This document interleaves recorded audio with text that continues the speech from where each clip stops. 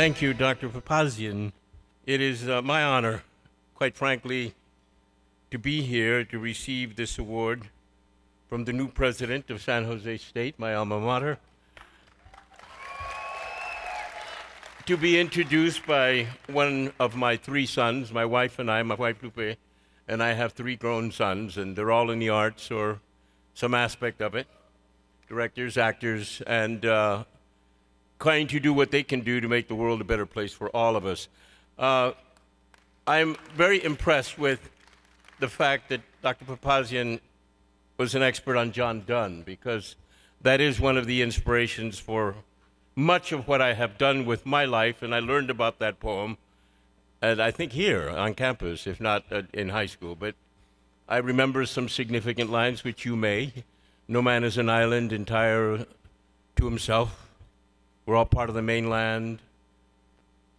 And then I'll paraphrase it. Therefore, never send to know for whom the bell tolls, it tolls for thee. Powerful words from a powerful poet. But I think an underlying lesson for all of us about the meaning of this place, and also about any of my achievements. No one does anything by themselves. It always takes a team, it takes a family, as we have seen with Dr. Papazian and her children and her husband and her mother. Certainly, we're all part of a wave, and so am I. And at this table are many of my colleagues, my wife, Lupe Trujillo. Stand up, Lupe, take a bow.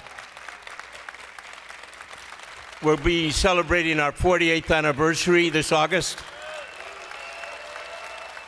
But I also have members of the Teatro Campesino family, my longtime producer, Phyllis Parza, Rosa Podaca, Licha Munoz, please, Joe and Marilyn Cardinale, Richard Vasquez. Please stand up, people, and, and take a bow. These are my colleagues. Thank you. And thank you for the 40 to 50 years that all of you have invested into the work of El Teatro Campesino. No one does it alone. This is why we have universities, so that people can learn that we're all interlocked and interdependent, and that we need each other. Uh, I learned diversity, I learned multiversity in this university. I became acculturated in this university. After high school, I went to James Lick High School, and I'll never forget. Yeah, I was a comet.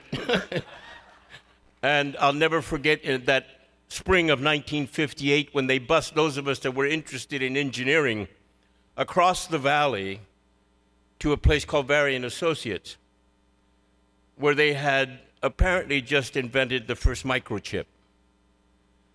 1958, as I graduated from high school, the microchip was coming in. It's been uh, a rocket ride, you know, in terms of evolution and progress in our world and a lot of it has stemmed from this tremendous valley where I used to pick a lot of prunes and a lot of apricots and a lot of tomatoes and a lot of apples, but it became the Silicon Valley. Incredible. I wanted to be part of that Silicon Valley. And again, with all of the push in 1958, I was a math and physics major here at San Jose State. Straight A. I mentioned that because uh, I don't look like a straight A math and physics major nobody would look at a Mexican and say, What, are you in the sciences? What, what is this, you know? And I wrote a poem called Highway 99 uh, uh, at that time, you know. But I did switch majors. It happened that uh, I used to go to the Winchell's Donut Shop over here on 5th in Santa Clara, right where City Hall is now. All of the math majors would go there and we'd do our math and eating donuts and stuff. And so I had a lot of young bucks, a lot of guys out there with their slide rules. We used to carry our slide rules like guns, right? In those days. And I loved all the paraphernalia and everything, but I didn't like the rap. They were talking about how much money they were going to make. And quite frankly, it upset me, it made me angry. And so I stormed out. I said, I don't want to listen to this crap. And so it was cold, and I walked back, and I used to cut through the drama department on the way to Winchell's and then back. And that one day I stopped and started to hang out in the green room. And I said, I need to change. I need to change my major. And so I became an English major with an emphasis in playwriting. And I wanted, I wanted to do what I could do in order to alleviate some of the racism that I saw that was still evident even on this campus. You know, I'll never forget my first sight. My big brother came here in 1955, and he brought me with him, and I was still in high school, and I remember seeing the quadrangle, and I seeing this beautiful campus. And I said, I want to be here. I want to learn here. And I did. But I switched majors because I needed to work more specifically on the problem of the human misunderstanding that centered around race and culture. A lot of people didn't understand that someone like me, having grown up as a migrant farm worker, by the time you get to San Jose State, man, you're fully American. You are acculturated. Come on. You've arrived. And yet, I realized that a lot of people were really ambivalent about their background and their skin color and language and all of that. And people used to come up to me and say, Do you speak English? And I said, Como que no, cabrón? Of course I speak English, you know.